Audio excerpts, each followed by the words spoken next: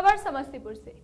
समस्तीपुर जिला के उजियारपुर प्रखंड अंतर्गत चैता दक्षिण के शाखा के सीपीआईएम कार्यकर्ताओं ने चैता दक्षिण वार्ड संख्या चार स्थित दलित बस्ती में संपर्क सड़क की निर्माण के साथ क्षेत्र के बवाली चौक से सरकारी सड़क को अतिक्रमण मुक्त कराने को लेकर प्रदर्शन किया।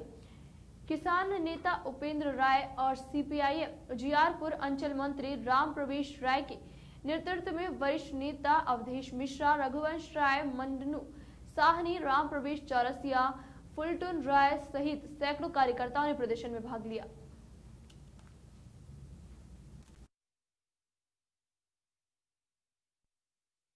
कर रहे हैं किस मांग को लेकर के?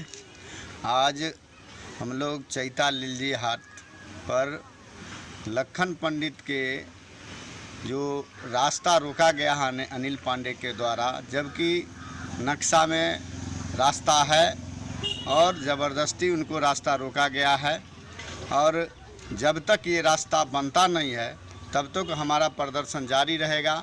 और वार्ड नंबर चार में दलित बस्ती, जो पूर्ण रूपेण दलित लोगों का घर है, जो जिनको लोग पहले चमार कहते थे, उनका घर है और उनके घर पर जाने के लिए कोई रास्ता नहीं है। आज़ादी के आज चौहत्तर, पचहत्तर साल होने के बाद भी आज उन लोगों को संपर्क सड़क नहीं है और एक भी उस जगह विकास का काम नहीं हुआ है और वो लोग सड़क के चलते नरक का ज़िंदगी जी रहे हैं और वहाँ आंगनवाड़ी केंद्र चलता है। सरकार के द्वारा वहाँ बूथ भी है, उसके बाद भी न ही सरकार का ध्यान उस पर है न ही यहाँ के कोई जनप्रतिनिधि जो आज इतना दिन से जनप्रतिनिधि बन रहे हैं उनका कोई ध्यान पड़ रहा है। इसीलिए सीपीआईएम इस मुद्दा को लेकर के लगातार जो है सो प्रतिरोध करेगी और जब तक ये सड़क नहीं बन जाती है तब तक हम लोग ये प्रतिरोध करते रहेंगे। क्या नाम हुआ आपका?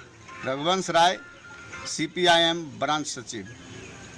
क्या लगता है आप लोग जो प्रदर्शन कर रहे हैं, इस मांग को पूरा किया जाएगा? हाँ इसमें हम लोगों को सीओ साहब से बात हुई है और सीओ साहब हम लोगों को पूर्ण आश्वासन दिए हैं जो हम इसको जाँच करके और रास्ता को जो समस्या है उसका निपटारा हम करेंगे और हम लोग इसमें भी सतत प्रयास में है जो रास्ता बने और जो दलित बस्ती है और लखन पंडित का जो है सो, जो बिना रास्ता का चल रहा है, डेढ़ फीट दो फीट पानी उसके घर के आगे लगा।